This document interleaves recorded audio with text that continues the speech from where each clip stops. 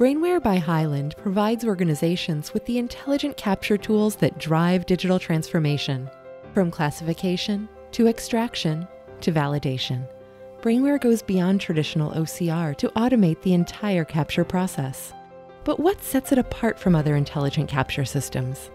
Much like the human brain, Brainware uses pattern and context recognition, not templates, to identify and interpret information.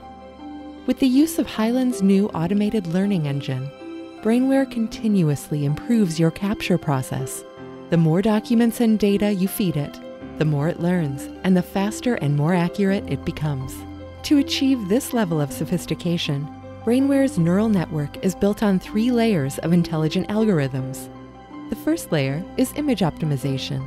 Using an advanced binarization algorithm, Brainware cleans up incoming document images to make them more readable.